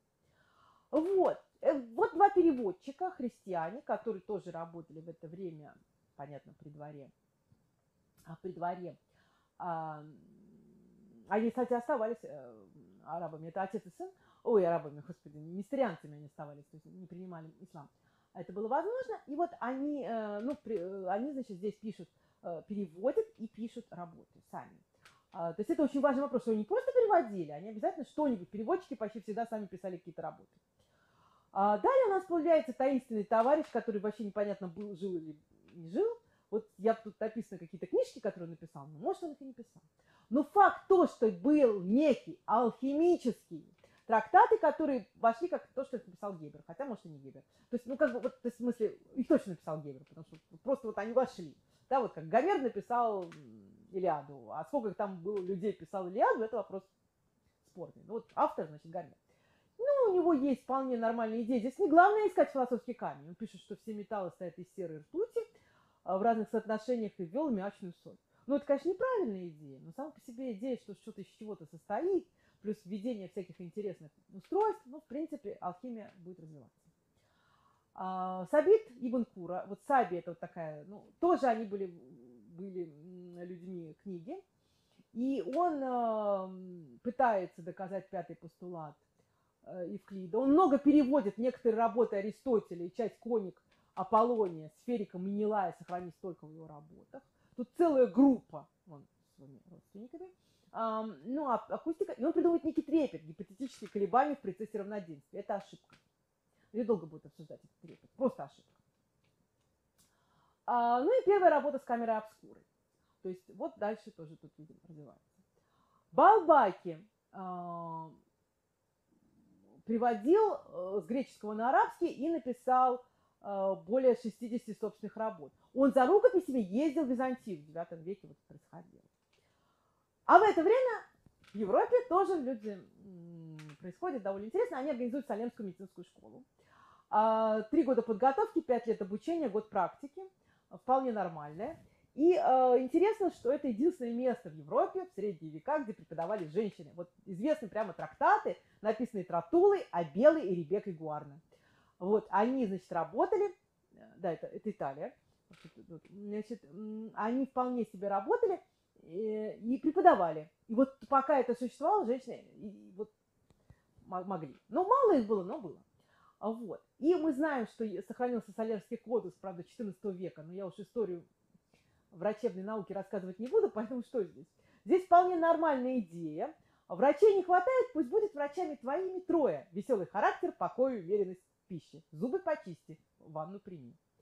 Но, конечно, что полезно, тут интересно. Багряные вина, супы пожирнее, хлеб из тончайшей муки. А вот грушу, груша это и редька, и орех, теряк, это такая сложная очень штука, варили ее вообще знаете, такие анекдоты ходили, когда там говорят, а вот у меня что-то осталось, давай сюда бросай тоже, будет тебе терьяк. Рута и чеснок – это противоядие. Но если вы вареная груша, а сырая отрава, я не знаю, что грушами было. Вроде они сильно не изменились. Ну, в общем, не то, чтобы здесь все идеально было, но как бы идея неплохая. Но ничего не поделаешь. В месяц любой хорошо прибегнуть к рукопусканию. Кстати, вот я показывала вот монастырь, у них потом в монастыре были специальные места для кровопускания. В это время появляются исламские университеты. Но здесь все сложно. Потому что первый университет, видите, образовался то ли в 732, то ли в 1956 в Тунисе. Следующий, это то, что Фатима, тоже тут, видите, 859-47. То есть Фатима, может быть Фатима, может и не Фатима, то есть вообще тут не обязательно это женщина была, организовала университет Медресе, которая потом стала, в принципе, когда-то университетом. Более, наверное, говорить о Фатимидах Аль-Хазар и Низамии в Багдаде, которые были, э, ну, в общем, в основном богословие, хотя изучали э, исламское право, логику, фазы Луны, э, арифметику, а позже даже добавилась история, математика, физические науки и музыка. То есть, да, были первые университеты, в принципе, в исламе, но это не традиционные, с нашей точки зрения, университеты. Традиционными университетами они стали в 20 веке. И даже обучение было, проходило, вот они когда сидели в кружке и повторяли за э, тем самым, за учителем. А, ну, здесь вот интересный, мне понравился интересный товарищ, а, вот врач, например, который э, считал, что есть отдельные лекарства для богатых и для бедных. Для богатых мы добавим сахар, наверное, чтобы у них получился сахарный диабет, они еще больше болели. Ладно, сахар тогда не считался вредным. А, а для бедных, э, у кого нет врача, лекарства для бедных. Вот. Но при этом он э, установил разницу между оспой и корью. Вот. Важный очень момент. И, и книжку, видите, печатали аж до 1866 года. Вот. И он посоветовал врачам практиковать в густонаселенных э, городах, а также изучать э, труд древних. Ну, нормально все, я считаю. Ботани. Э, очень, да, он был практик. Он э, вот рассчитывал тут фазы Луны. Вот, например, это, это из его картинка, из его книжки, то есть, ну как, из его рукописи. А он был скорее практиком, то есть вот эта вот сложная астрономия его не интересовала, конечно, астрология, что что делать. Он все еще учился в Багдаде, работал в Багдаде, но Багдад уже к этому времени не был признанным центром. Уже там уже не был. И он определил продолжительность сезонов и тропического года чуть хуже, чем Тихо Браги, который жил, как вы понимаете, в районе 1600 года, 700 лет. И точное значение наклона эклиптики, ну почти-почти точно. Кроме того, он настолько точно посчитал вот всякие тут вещи, кольцеобразные затме... Э, видимые диаметры Солнца и Луны, а вот эти все его расчеты были такие точные э, наблюдения, что в 18 веке вековое ускорение Луны получали по его работам. То есть ну, надо было кого-то взять, да, вековое ускорение, как возьмешь. Нужны старые работы. Поэтому вот Ботани как раз оказался самый точный старый автор. Аль-Букамир Аль-Мисри работал в Каире и написал вторую работу после Хорезми. А вот книжка о птицах, она о, о математике. Вообще название книжек иногда мне очень нравится. Э, математику тут применял в проблемном наследовании. Но в Европе тоже были в это время ученые. Был Адон Клюнийский, он просто организовал эм, значит, аббатство Клюни, которое будет очень важным центром. А, опять идем на восток. Э, Хамдани нормально такой вот ученый. Арабский ученый-энциклопедист, астроном, географ, историк, правовед, филолог, химик, экономист, врач. Э, вот в том числе Аравийский полуостров написал. Обсуждал Аристотеля. Ну, что-то тут не то сделал и попал в тюрьму. Аль-Фараби, очень известный э, астроном. Значит, комментарий... А, вот он второй учитель, извините. А второй учитель Аль-Фараби. Э, восточный аристотелизм все-таки во многом его логика, э, перечислял науку, но у него математика включает оптику, музыку, статику и механику. Вот, эм, и, например, считал, что есть разные, ну, как бы, некоторые принципы наук присущие людям, некоторые заимствуют из других наук, третьи достигаются в результате опыта. Э, писал вот много всяких, да, занимался в том числе и оптикой, и вот в том числе у него была проблема. Дело в том, что космология по Корану, вот я говорила, что есть два исключения насчет плоской Земли. Так вот, по Корану есть семь э, этих самых, семь э, этих самых небес и семь, звезд, семь, семь э, планет. Вот как это объясняют? Но как-то все-таки оказалось, что уж совсем какая-то странная вещь, поэтому э, вот э, теологи это как-то объясняют. Все-таки ни у одного из арабских а Станову все-таки не было проблемы с тем, что они Землю считали круглой. Вот это как-то все-таки было принято. Ну, просто интересная карта. Аль-Масуди, вот географ, просто не понравился. Вот. Аль-Джафар Аль-Хазим пытался решить проблему с тем, что не получается у вас по кругу с планетами. Поэтому, ну, помните, планеты ретроградный Меркурий, планеты идут по обратному. Поэтому он решил гомоцентрическую модель. То есть, видите, Земля-то в одном месте, а вращается все это... То есть Земля не, не, в, центре, не в центре системы. Она неподвижна, но не в центре. Абу Сахал, а, он написал, а, в общем, что-то похожее на закон Снелла. Ну вот, хотите, вот это то, что написано. По-арабски прочесть не могу, но картинка, на мой взгляд, недостаточная для того, чтобы написать закон Снелла. Он вообще говорил о том, что у вас при при э, переходе из одной среды в другую у вас меняется угол. Но он не нашел этот закон через синус. Это все-таки немножечко э, чересчур говорить. Но оптика. А, Хамельмири, значит, говорил, э, значит, обсуждал обе теории света, экстрамиссию интромиссию, то есть есть у вас свет из глаз или нету, но э, реальные выводы философии не могут противоречить боготкровенным истинам ислама. Вот. Э, вот это тоже интересная идея.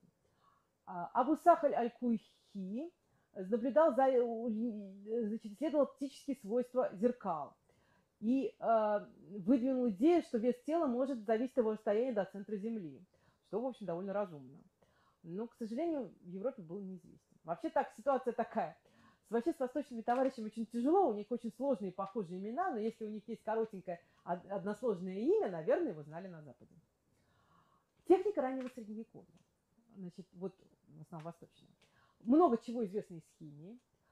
Есть вот подъемные машины, они были еще до ислама. Шахты есть, консольные висячие мосты и лодочные мосты. А вот на Западе что же происходит? 800 это изображение хомута первое.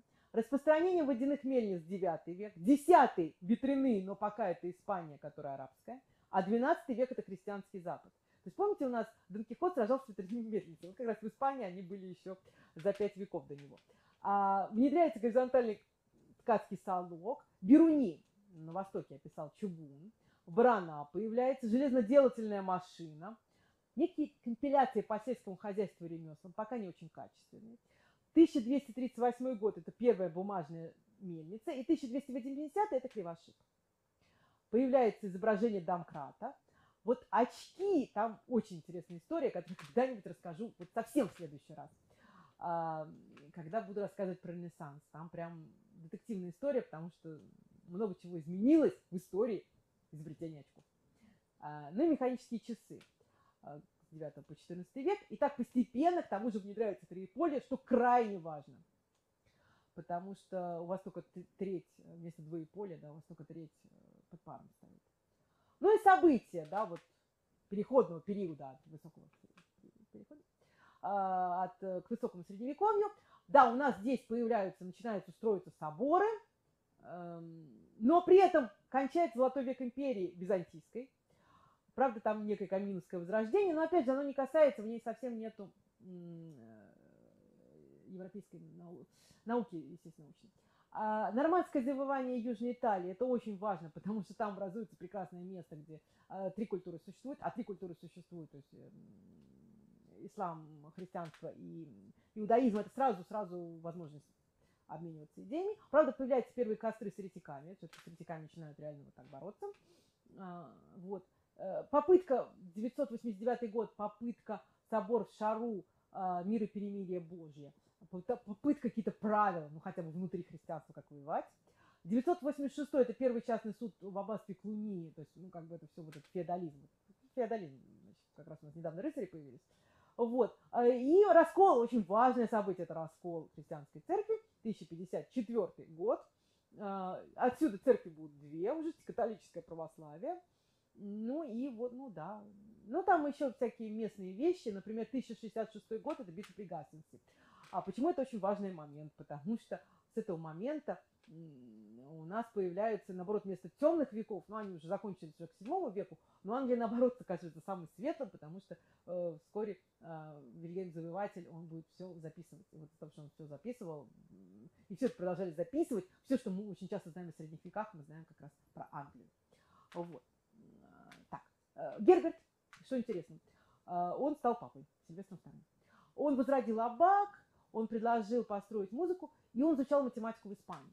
То есть к этому времени вы должны были что-то узнать, э, отправиться в Испанию, где, помните, у нас в это время были арабы.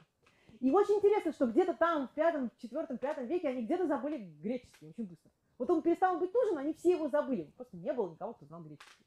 Поэтому в результате все новое, он строил диаграммы для студентов по астрономии, что-то делал, но для того, чтобы что-то делать, ему сначала надо было получить специальность, а в Италии специалисты по музыке и астрономии были редкостью. Сначала надо было что-то узнать. И он отправился к арабам. Ну, ну, нет сомнений, что он очень э, образов... Э, верующий человек, раз папой стал. А вот. Аббат Бонфлерийский, то же самое. Он обучался в Париже, ну, правда, уже в Париже и Ремс, где он проповедовал всем а, свободных искусств правда, музыку тайна, как-то под вопросом была, э, диаграммы, значит, помощь студентам. А вот календарь, он как раз очень сильно а, был за календарь. Правда, он не считал, что Христос родился в 21 году до нашей эры. Тут очень интересный вопрос. Э, дело в том, что 21 год до нашей эры означал, что тысяча лет со дня рождения Христа уже прошла. А видите, когда он жил, в это время действительно были такие апокалиптические настроения, что тысяча лет со дня рождения Христа и будет конец света. Поэтому, ну, как бы он не хотел конца света. Ну, чтобы люди хоть работали, а то там перестанут что-нибудь делать. А, правда, у него были всякие проблемы, вопросы, тратить ресурсы монастыря и так далее. А вот далее происходит интересный момент. Э, вот он погиб во время, так драка была между монастырем, а, ну хорошо, он туда вмешался, и его кто-то копьем убил. Вот я пытаюсь понять, как, вот, как весело жили монахи в это время. То есть не надо думать, что это прям такие все аскеты, если они там были во время драки, использовали, а, значит, этот самый копье. Вот, даже не нож, копье. Вот. Да, и, кстати, знаете, предлагал заниматься наукой, чтобы защититься от пороков. А, вернемся опять же на Востоке. На Востоке все хорошо, значит, разные люди, Буджани его, э, Садафи, они вот изучают вот то, что занимаются астрономы. Они много-много изучают в конкретном месте, что происходит. Ну и математикой тоже. Конкретный такой вот, без всяких прорывов, без всяких таких высоких вещей, а просто в очередной раз книга о том, что надо писцам, дельцам и прочим из науки и арифметики. Ну, полезно, полезно. Вот. А Ахмад Ассиджи разработал варианты астролябии, изобрел э, инструмент для оказания направлению на Мекку. Э, ну, понятно, важно. Авицена. Вот здесь величайшее, вот наконец у нас появляется действительно имя, которое надо бы запомнить. Авицена. Ну, Ибн Сина. Он использовал Аристотеля ислама. Ну и кроме того, он человек, который писал книжку по, э, по э, он был врач. У него много книжек по врачу, но он все как обычно. Он вел рабоязычный, рабоязычный перипатеизм, фальсафа называлась. То есть он, э, Аристотель, и да, он отделил астрологию от астрономии, вот важно, он все сделал вот для того, чтобы это отделить. Ну так вот, он принял частично логику Аристотеля, подсоединил ее к исламу. То есть вот не полностью мы не говорим, что Аристотель всегда прав, а там, где он не противоречит исламу. Что-то похожее потом будет на Западе. Ну, понятно, не к исламу, а к Аристотелю. Ну и мы сидим за радугой. Радуга – результат отражения от полного слияния капель воды. А, значит, вот такое. Да, его начали переводить в 12 веке, ну, понятное дело, потому что врач. Звук от движения воздуха, который ухо ощущает от двух твердых гладких тел, которые быстро сближаются одно с другим, выход воздуха между ними, его попадание в ухо и перемещение воздуха. Ну, довольно близко. То есть он довольно правильно об этом описывает. Беруни тоже очень важный человек. А, он очень хорошо посчитал радиус Земли, удельные веса металлов и работы по оптике. Занимался в основном тенями. Правда, считал, что тени есть в аду. И он написал интересную работу по Индии, про которую я когда-нибудь расскажу, когда дойду до индийско-китайской науки. То есть как бы это про индийскую науку. И да, вот еще что он писал. Изучение природы сравни расследование, направленное на установление истины. Внешний мир может дать истину. Он не использовал слово наука, он использовал э, арабское слово илм, которое означало знание. А, и он э, пистический мир должен быть изучен, чтобы мы усво могли усвоить величие Бога. Очень важная идея. Вот. И кроме этого, значит, он такой ему говорил, что что же вы там читаете всяких там еретиков, а он, ну, еретик, сейчас боюсь сказать, как это называется в исламе, ну, язычников, а может быть, язычников точно плохо читать. Еще христиане еще куда не шло, но христиан тогда больших не было. А, значит, и он говорил, византийцы тоже едят пищу, так не подражайте им в этом. То есть вот такой у него был ответ. А, вот, у него было в книжке Индия, да, вот, видите, вот тут изображения много, они все разные. Ну, нету реального изображения, потому что вообще плохо с изображениями в это время, но в исламе еще и запрещено, поэтому нету. И он пишет, вращательное движение Земли нисколько не порочит астрономии, а все астрономические явления равно проистекают в согласии с этим движением. Однако оно представляется невозможным. Вот иногда пишут, что он доказал, что значит, Земля движется. Нет. Но он, по крайней мере, сказал, что это возможно. И вообще надо отметить, что в средние века нельзя сказать, что это считалось невозможным вполне допускалось. Ну, вот как бы вот показал. Очень важный человек, Аль-Хазен. Это величайший оптик между Птолемеем и Кеплером. А, он написал книжку, вот э, здесь картинка, все, что он изучал, да, астрономические явления, зеркала, вот эти зажигательные зеркала, это то самое, что как бы возможно, Архимед поджег вот этих самых Рижский флот. Но это поиск, э, поиск то место, где у вас получается фокус. Вот фокусировка. Поэтому на самом деле вот вопрос сжигательных зеркала – это вопрос фокуса. Он изучал отражение и рефракция, да, вот, значит, радугу тоже изучал. И он ввел медный, медный прибор для изучения отражения. Темная комната, зрительная труба, струны. Изучал регулярные свойства света. Его мало интересовало, что из себя свет представляет. А, падающие лучи, преломленные, находятся в одной плоскости. Это его. Вот, э, аналогия с шариками, правда, у него была. И он ввел слова, которые э, литыбар, табара, мутабир. Ну, в общем, эксперимент, экспериментатор экспериментум. То есть эксперимент, эксперимент эксперим, экспериментатор, экспериментируя, по-моему. В общем, вот это слово ввел. Ну, правда, перевод. Начинается в обсуждение, правильно ли переводить, неправильно ли переводить. Ну, вроде ввел. А, значит, он объединил разные слова, цвета, потому что были какие-то мнения. То есть отраженный луной, от солнца свет, испускаемый огнем, отраженный зеркалом, сфокусированный, все это свет. Ослабевает по мере удаления от источника. И вот главное, то есть он э, ну, сформулировал какие-то идеи света. И главное, что он отменил эту самую, э, опять я путаю, интромиссия, экстрамиссия. Ну, в общем, свет – это от источника. Вот нет никакого лучей из глаз, нету этого. Все, отменили. Вот. А, а значит, э, и камеру обскуру, вот он реально ее описал точно, четко. Вот. То есть, ну, кроме, то есть, получается, что он с одной стороны продвинулся в, в, в оптике, то есть он придумал, ну, объяснил, в общем, довольно сильно, что, как свет распространяется. И кроме этого, он, э, значит, ввел сам по себе эксперимент. Тщательное описание, там много всего написано. Да, и опять радуга. Что это такое? Стеклянные шары воздействия солнечного света. И получилось, что радуга возникает в результате преломления, а не отражения солнечного света, как утверждал Аристотель. То есть, э, да, э, потом не друг, но истинно дороже, но здесь как бы про Аристотеля. Вот, то есть огромный вклад Альхазена. Э, значит, вообще теория зрения плюс теория света он объединил, потому что раньше были какие-то разные вещи. Вот оптика, вот после него это оптика. Ну, свет форму существенно в самосветящихся телах. Прозрачность важнейшая форма. Прозрачные тела пропускают свет, а то были люди, которые все наоборот. Э, первичный и вторичный свет, но здесь у него не очень получилось.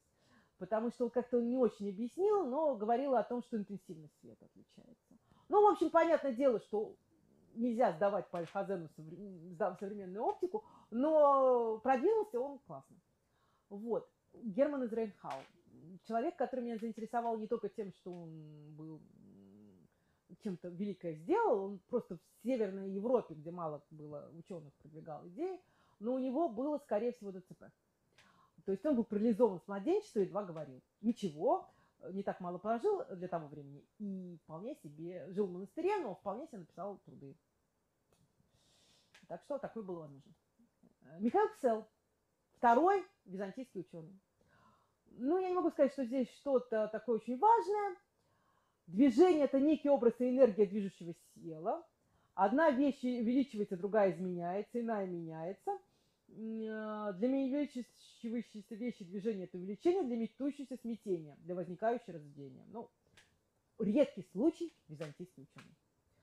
События примерно этого времени. Э, Толедо мы отвоевали, у нас появился страшный суд, э, книга страшного суда. Это вот то самое, с которого мы все знаем про Англию, поэтому если вы что хотите узнать, сколько там людей погибло от чумы, от чумы или что-нибудь еще произошло, в Англию отвоевание у мусульман Сицилии, значит, вот это сложное сицилийское государство происходит, а от Вилли там появляются в этом королевстве, Византия там, ну, постепенно, значит, э, какие-то вещи делает, э, да, Лутеранский собор, он решает там внутри христианские вещи, появляются крестовые походы. Вот я говорю, где место, где можно узнать что-то от этих самых, от арабов, но там нельзя. Там настолько все было жестко, Настолько первый раз взяли Иерусалим, убивав не только там арабов, причем любого возраста, пола, но еще даже христиан, которые там были, что в результате вот просто там настолько все э, произошло, что считается, ну, некоторые говорят, что только абрикосы появились в результате крестовых походов, но некоторые говорят там любви книги и всякое такое. Поэтому никакой науки там не было, потому что какие-то материальные вещи оттуда еще можно было взять, а вот насколько при той же реконкисте все-таки все это было плавно, медленно, и завоевание все-таки приходило к тому, что люди платили дополнительный налог, понимаете? Там были, конечно, там какой-нибудь, были такие мученики, которые приходили и кричали, а, ислам это прямо посреди мечети орали, что ислам это плохо, но им очень жутко хотелось быть мучениками, потому что, как вы понимаете, в христианстве э, это давало вечную жизнь. Поэтому такие люди находились, которые готовы были отдать свою сегодня жизнь за то, чтобы там, получить вечную. Но, в принципе, там было терпимо. А, а вот в этом они друг друга так поубивали, что... В общем, не, не, не на обмена. Ну вот дальше появляется человек по имени Газалин, которого обвиняют в том, что вот тут у меня зелененький картинка вниз пошла. А, потому что он, э, ну у него были там идеи, что есть избранные там широкие массы, неспособность мусульманских перипатетиков, то есть Э, это Аристотеля, построить метафизику на принципах, соглашающихся с буквой священных текстов. Он критиковал Авиценну, который пытался, значит, это сделать. Придумывал, вот я почитала его книжку, у него какие-то очень странные аргументы. Он фактически говорит, да у нас тут вот так написано. То есть о, на опыт это не ссылается, а скорее на какие-нибудь книжки, типа Корана. И, в общем, хотя он полностью не отрицал, что у вас есть философия, ну, полезные же вещи, в конце концов, есть. Но он очень сильно их принижал, и считается, что с этого места ну, благочестивые мусульмане уже не особо занимались наукой. Хотя, конечно, исключения были. Говорят, а нет, ну, у нас же были ученые. Но, во-первых, никто не отменял, конечно же, астрономию, она все еще была полезна, как и математика. А вот такие какие-то физические вещи, ну, лучше не надо. Ну и Амар Хаям, а, кстати, очень точно посчитал продолжительность года, пытался вести календарь, а, который был каждый четвертый, то каждый пятый год високосный, чтобы как-то это решить. Потому что понимаете, что в исламе календарь это вообще жуть. Потому что они пытают, у них 354 дня в году, поэтому каждый раз там Рамадан в разное время. А вот. И он вот прекрасно, у него есть прекрасные рубаи. Тот, кто землю поставил, одни возвек небосвод. Сколько горя с тех пор он печальному сердцу несет. Сколько ликов прекрасных, как луны, и уст, как рубины. В капище праха земного под каменный гнет. Дураки мудрецом почитают меня, видит Бог, я не тот, кем считают меня. О себе я и мире я знаю не больше, чем глупцов, что усердно читают меня. Но есть и другое. Будешь в обществе гордых ученых ослов, постарайся ослом притворяться без слов. Ибо каждого, кто не осил эти дурни, обвиняют немедля под древой основ. Вот. Ну и, э, да, э, давайте, э, Хазини еще такой интересный ученик. Он был раб, жил очень скромной жизнью и написал книгу о весах мудрости. А что это такое? А это рычаги. И даже что-то такое про, видите, тела за равные времена проходят разные места, которое прошло больше места, больше по силе. Это уже немножечко к моменту силы, ну чуть-чуть туда. Вот у него картинки, правда, не уверена, что за его рукописи, а это с примечания. Вот это хорошие люди, они все это рисуют в виде рукописи, э, потому что читать это тяжело. Земляные весы – это та штука, которая определяет, где у вас ориентир, да, где у вас же. Вот, ну, такие прекрасные веса мудрости. И э, сейчас хотела такая красивая картинка. То есть это равноплечные рычаги, разноплечные рычаги, где тут можно что повесить, тут сложное все, очень длинное описание тяжесть, да, поднять копье один из его концов, то на него действует тяжесть и сила, опускающая ладонь. Ну, правда, силы реакции опоры здесь нет, но действительно, смотрите, у него сила тяжести есть. То есть очень интересная работа. Плюс э, он писал о весе воды, там, вытеснении и так далее. Удельные веса, то, что они часто этим занимались, это практически интересная задача. То есть вот такая практически интересная работа. А, у Майя Сент-Андалуси, а, ну, тут интересно просто, что он, а, как раз будучи арабом, он создал по научным дисциплинам квадри, квадривиума работу, тоже много чего делал, но вот пытался поднять лодку с, медью, и что-то у него не получилось. Мухаммед Баджа писал, что философ чужой даже у себя на родине – ну, интересно, что он обсуждал возможность движения в пустоте или в среде, которая не оказывает сопротивления. То есть э, вот это самое первоначало, это не путать с импетусом, которое повлияло на работы многих других европейских ученых. Так, ну все. Да, на этом мы закончим. Вот где-то сейчас мы подходим к тому моменту, когда наука обратно переселится назад. Хотя ничего не целиком, а можно сказать, будет некоторый паритет.